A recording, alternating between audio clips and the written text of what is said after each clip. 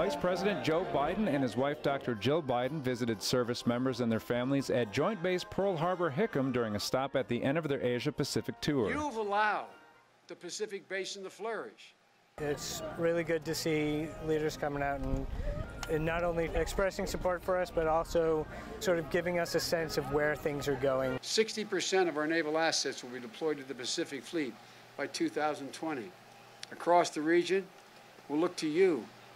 We'll look to you, strengthening the existing security partnerships that help us build new ones. The Vice President also thanked everyone in the crowd for their service. It's the greatest generation of warriors this country has ever, ever, ever produced and the world has ever seen. Master Sergeant Ryan Kruse, Joint Base Pearl Harbor Hickam, Hawaii.